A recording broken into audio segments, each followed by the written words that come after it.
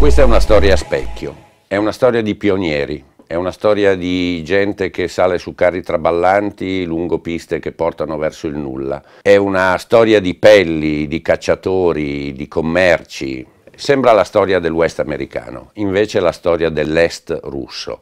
È la storia che comincia mezzo secolo prima di quanto non sia successo in America ed è eh, una storia che ha un protagonista assoluto che si chiama Rezanov è lui che eh, cerca di arrivare, eh, di portare l'impero russo fino alle rive del Pacifico e poi più in là colonizza l'Alaska, fonda la Russian American Company perché spera di portare in dote allo zar eh, anche il cuore dell'America.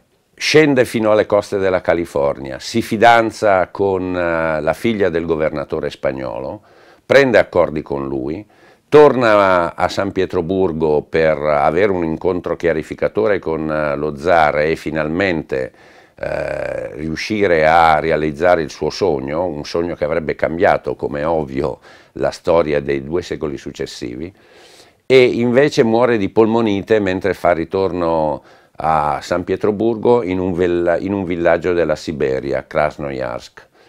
E lì finisce il sogno. Di tutta questa storia fantastica di pionieri, di avventura, rimangono ormai pochissime cose. Uh, un avamposto russo, uh, Fort Ross, nella contea di Sonoma, a nord di San Francisco, e Russian Hill, che è ormai diventato un quartiere trendy uh, appunto a San Francisco.